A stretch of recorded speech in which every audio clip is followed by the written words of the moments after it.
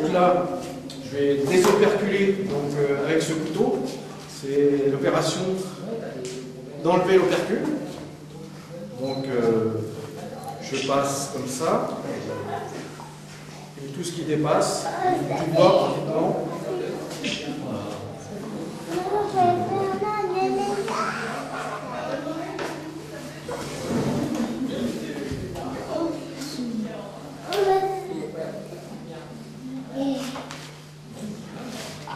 Là, ça va s'écouter dans le bac. Le petit bac à désoperculer. Donc je retourne le cadre.